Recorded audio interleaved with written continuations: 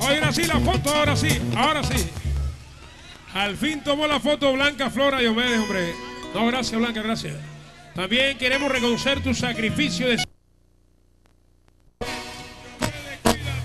No, cuídenme ustedes a los periodistas mal hablados. Esa cosa, echándole leña todos los días, ja, eso forma un tropel grande. Miren lo que pasó el padre Hoyo.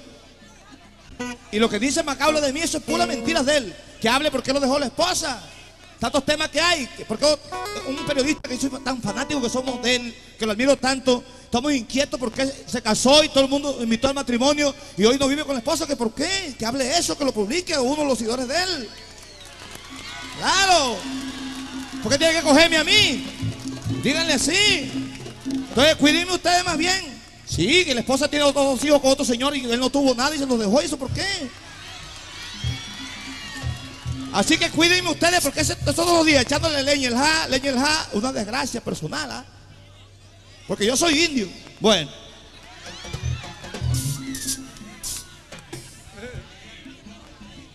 Hoy estaba, señoras y señores, Dios- estafador tuviera preso. O al menos hubiera pagado una indemnización de 100 millones de pesos. ¿Por qué no ha pagado nada? ¿Por qué? Digan. Entonces, así que el corito, ¿cómo es?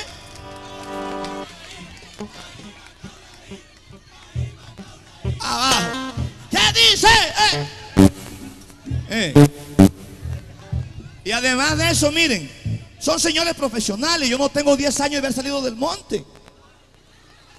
O me deben de ayudar a uno aconsejarlo, ¿verdad? El señor, un tema tan importante de la señora, y me coge el desayuno, almuerzo y come conmigo.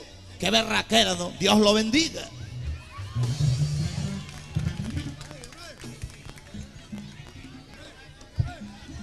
Hoy, queridos amigos, será gran presentación ante el público de Barranquilla de esta gran figura de nuestro folclore Diomedes Díaz al lado del fuerte Juancho Roy. Hoy lanzamiento cristal en la tremenda. Repito, dos grandes figuras que tiene nuestra música vallenata Diomedes Díaz. Cada casa barranquillera haya un disco de Dios me bendiga.